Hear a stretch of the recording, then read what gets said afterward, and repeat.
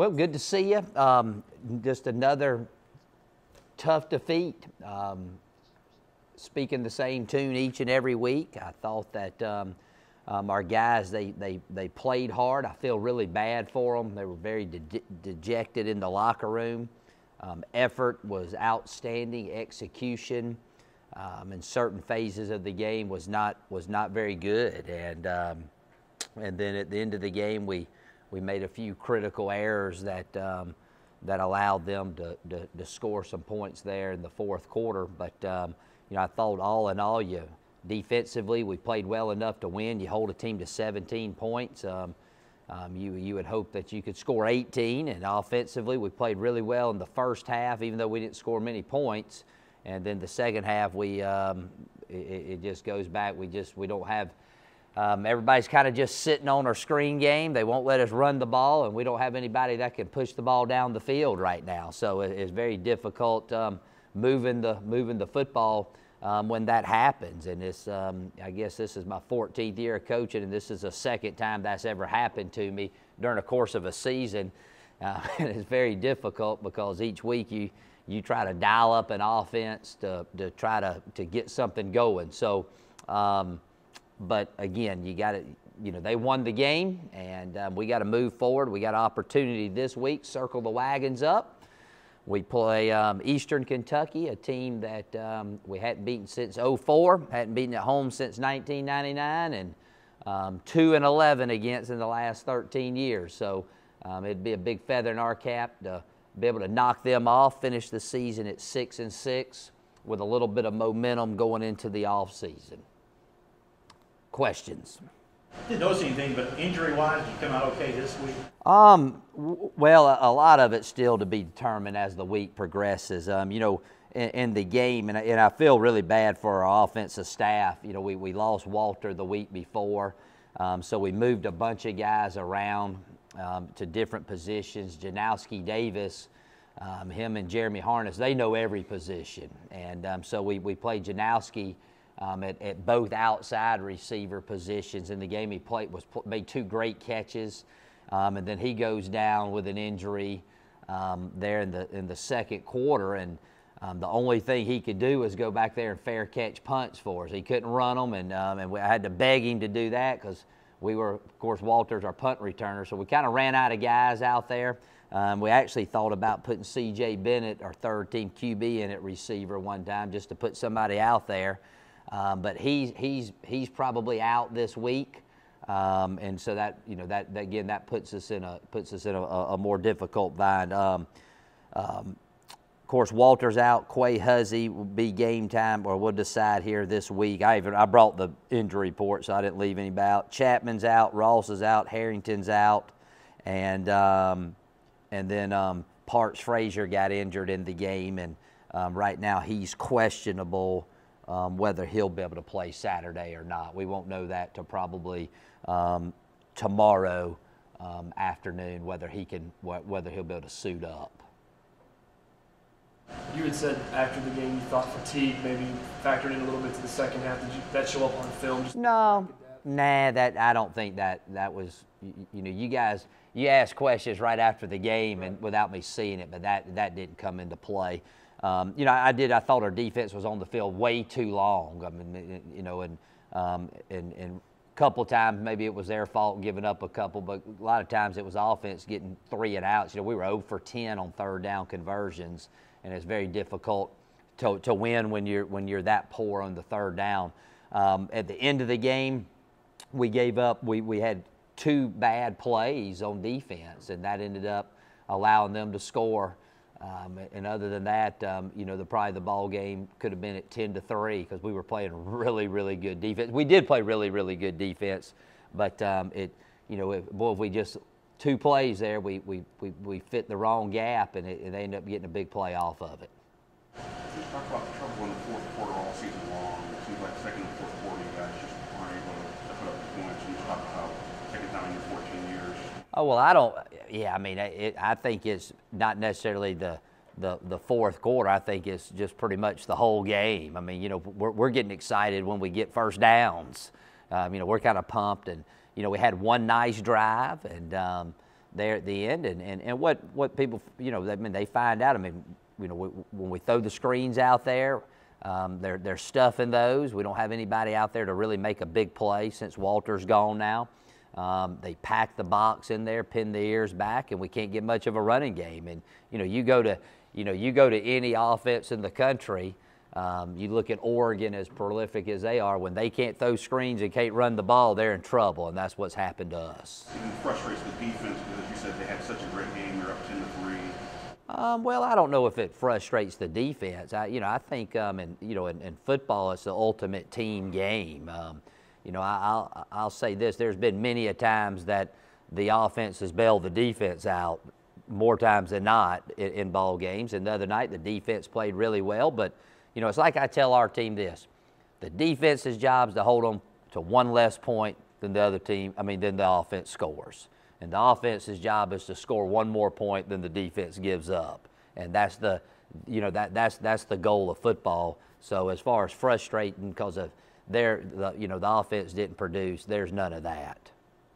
Talk about how tough it is for the defense to, you know, when you're when you know the offense is not performing the way that you want it, having to hold on as long as you have to. Um, well, I, I mean, I, I, don't look at it that way. I understand what you, what you're asking. I, I don't look at it that way. I mean, you know, the defense's job, their job is to go out there and not let them score. And the offense's job is to let them go. I mean, is to go score as many points as you possibly can. And, um, and, and as a, for a football player, your job is to focus on your job. You don't worry about what those other guys doing because you have no control over that. So at the end of the day, you know, defense, they got to worry about them. They got to play the best they can play. Offense got to play the best they play, and the special teams have to play the best they can play. There is no, well, the we, we did our part today. You know, at the end of the day, it's, it's a team game, and, and everybody has to do their job in order to be successful. Can you give a quick update on Navarre, and if you don't have him, without him, Walter, Janowski, some of the younger receivers that are going to have to step up in those guys' places? Yeah, he, he will not play this week. Um, and, and so what we'll, what we'll probably end up doing is um, you'll, you'll see Mitch Stoltz, who we, we played him just a little bit early in the year. He's been a backup um, on a lot of the special teams in, in, this year. And, you know, we really thought Mitch was going to come along, provide a lot of depth, and some things happened, and he ain't played much since the very beginning of the season. So um, he'll get a little bit um, more of a role in, in the ball game this week. And, um, and, and, and out um, and, and wide, we'll play Kendarian Jennings, um, who, who's, I think he's maybe played two snaps since he's been here. So he'll be the backup to Paul out there at the Z position. So there'll be um, two guys there that, that hadn't played much He'll get a chance to go in. And they're going to have to play some. They're going to have to go in there and show us what they can do. How do you match up this week uh, with Eastern Kentucky in terms of your defense? Good matchup with Tennessee State, but what about EKU? Um, I think EKU's defense is, is always one of the tops in the conference. And, and you know, I, I think um, you know, other than maybe Eastern Illinois and Jack. I, I, say they rank up with Eastern Illinois, Jacksonville State's defenses, and um, they're really, really talented. They're really physical up front. You know, we've always had a hard time blocking them. Um, offensively, they're a little bit like us. You know, they're um, each week doing just a little new wrinkle or something, just trying to find some rhythm um, to get in, and you know, and and and you know, listening and watching them, they they're very similar to us. They just they don't have a whole lot going for them right now. Um, so, I, but I'm hoping that our offense is kind of like golf. You know, in golf, you, you could play bad for 17 holes, and then that 18th hole, you hit a couple good shots. It makes you want to come back and play some more. I'm hoping this week that we're able to hit a few good shots and, and feel good about ourselves on the offense. And what's the good about, you know, injuries are bad, but at least these players are getting some experience. Talk about them getting that and using that and going on to your program next season.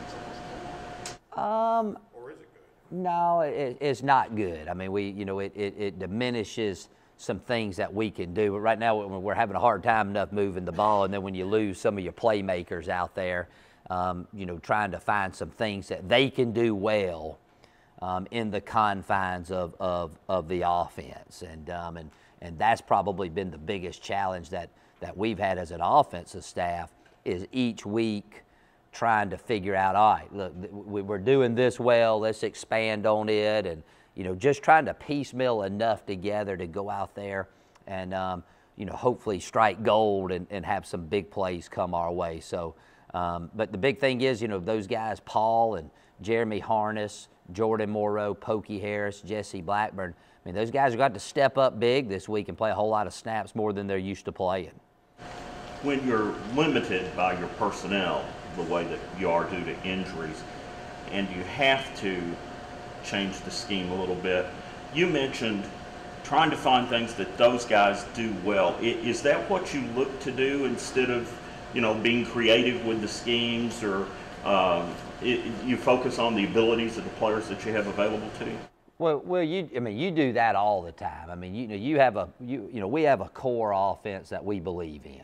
Okay, and that's to play up tempo, a lot of quick passes, um, you know, quick runs up the middle. They come up, you know, have some different things that we push the ball down the field with. So we got our core, but each year you have to, you have to tailor that that to what you do well. You know. Um, for instance, if you know we got Jalen Harrington late, we you know about midway through the year we moved him to offense. Um, Jesse Blackburn is just starting to come along a little bit, you know. So with those two guys, next year you'll see us use more tight ends because we finally got some tight ends. You know, we're in the same plays. It's just we'll use we'll have little different sets and different ways of of getting to those plays. So, um, but now when you're depleted like we are, um, you know, we we didn't we've tried it all, man. We tried to be creative. Some it, it doesn't look very creative, but uh, but we have we we tried that. Uh, we moved guys around. Um, you know, the bottom line is we just we, we just don't you know we don't have that that playmaker that we can push the ball down the field to, and um, and then everybody just they load the box up. They sit on the screens out there, and when we can't run and we can't throw screens, we're in trouble, and that's what's kind of happened to us. Can you just talk about some of the things defensively you try to do against the game, that they're having some struggles? Um, well, we got to stop the run. You know, they're going to come in. They're going to run the power running game at you, and um, and we it, it all starts there. And um, you know, again, at the end of the day, you know, football. No matter how many yards you throw the ball for, or how fancy you get, and all that kind of stuff, at the end of the day, you got to better run the ball, and you got to better stop the run. And that's what that's what it boils down. And um, and you know, the other night we stopped the run really well there into that last two drives. They got a couple big plays on us, and um, and you know we can't run the ball at all right now. So that, that's that's our biggest issue.